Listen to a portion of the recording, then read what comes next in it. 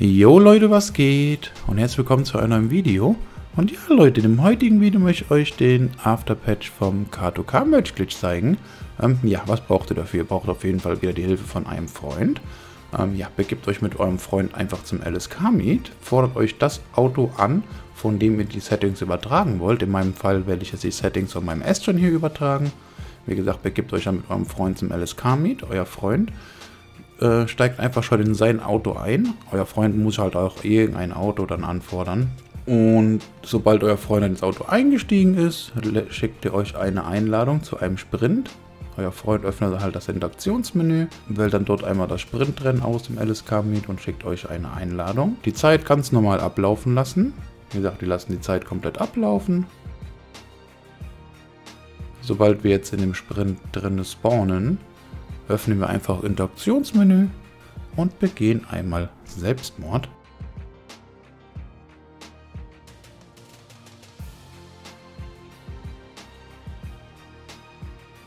So, sobald wir spawnen, öffnen wir einmal das Handy, rufen den Mechaniker an und fordern uns einmal das Auto an, wo die Settings drauf sollen. In meinem Fall nehme ich einfach jetzt den neuen Torero XO, der heute rausgekommen ist.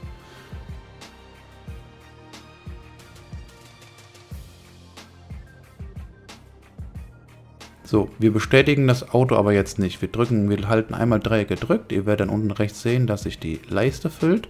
Und jetzt gibt es einen kleinen Timing-Part. Und zwar müsst ihr einfach nur Dreieck gedrückt lassen. Ungefähr drei Viertel, wenn die Leiste drei Viertel voll ist, ungefähr so drei Viertel voll, ähm, müsst ihr einfach nur noch X da, dazu spammen. Aber wichtig ist, Dreieck müsst ihr noch gedrückt lassen. Wir halten die ganze Zeit Dreieck gedrückt, drei Viertel voll aufladen lassen, X durchspammen ist halt ein kleiner Timing-Part. Das könnte schon mal ein paar Minuten dauern.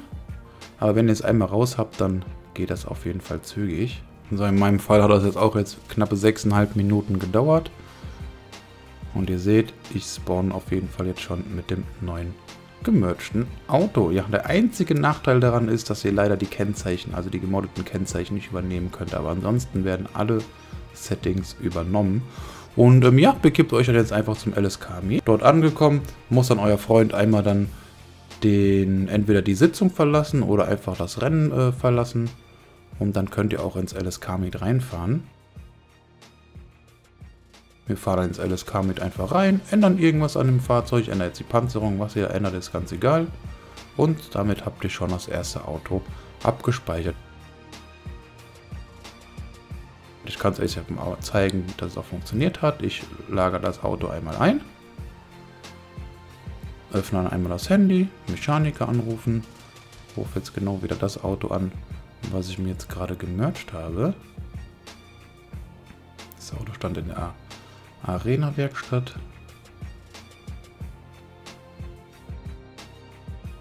Und wenn das Auto hier geliefert wird, werdet ihr sehen, dass sich das Auto auch gespeichert hat.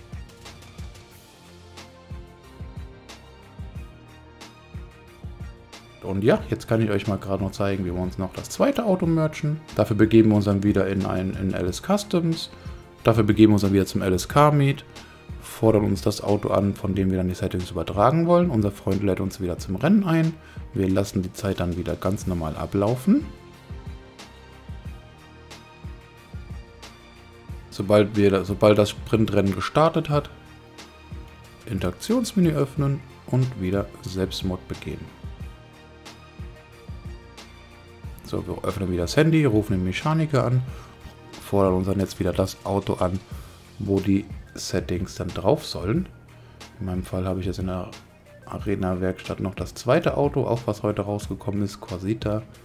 Wieder Dreieck gedrückt lassen, drei Viertel voll lassen, werden lassen, ungefähr die Leiste, dann X durchspammen. Wie gesagt, ist ein kleiner Timing-Part.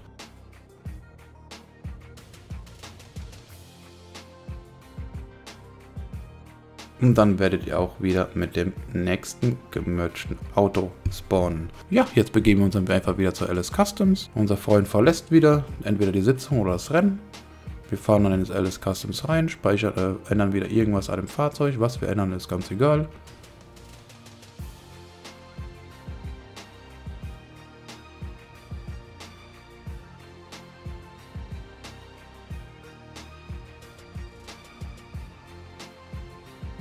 Wieder rausfahren.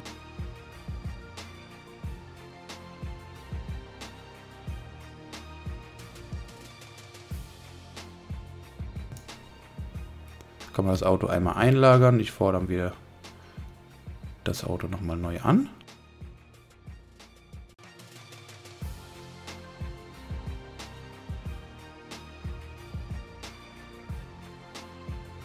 Und ihr seht, dass das Auto auch abgespeichert hat.